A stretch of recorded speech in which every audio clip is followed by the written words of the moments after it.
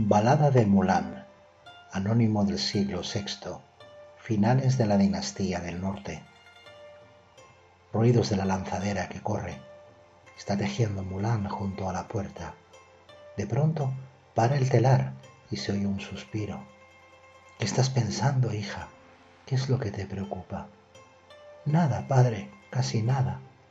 Es que ayer vi un edicto del Gran Khan sobre el inicio del reclutamiento la lista viene en doce libros y en todos encuentro su nombre. Usted no tiene hijo varón, ni yo ningún hermano mayor. Así que quería montar a caballo y reemplazarle para ir a la guerra.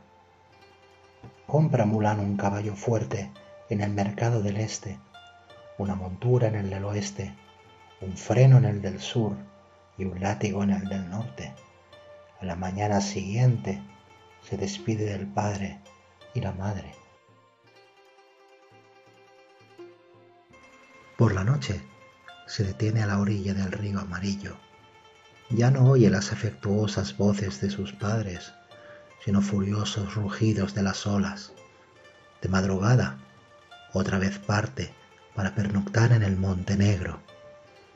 Tampoco oye a sus cariñosos padres, sino solo los agudos relinchos de los caballos del Monte Tártaro presurosa, marcha al campo de batalla y deja atrás varias fortalezas.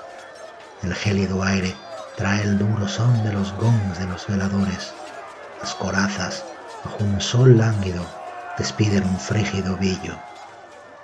Tras cien combates muere el general y al cabo de diez años regresa la guerrera. La recibe el monarca en la sala de audiencia. La asciende al grado más alto y le concede miles de onzas de oro.